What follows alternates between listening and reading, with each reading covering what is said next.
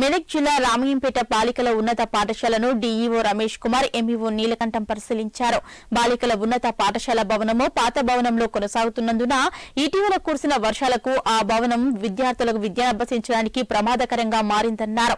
అందుకే బాలికల ఉన్నత పాఠశాలను సమీపంలోని మరో ప్రైవేటు పాఠశాల భవనం ఖాళీగా ఉందని అందులోకి తరలిస్తున్నామని డీఈఓ రమేష్ కుమార్ తెలిపారు.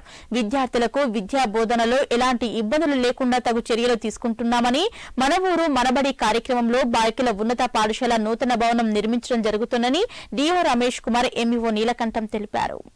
మూడు రోజుల నుంచి కంటిన్యూ వర్షాలు కురుస్తున్న నేపథ్యంలో మన జిల్లా పరిషత్ గర్ల్స్ హై స్కూల్లో రామాయణ విజిట్ చేయడం జరిగింది.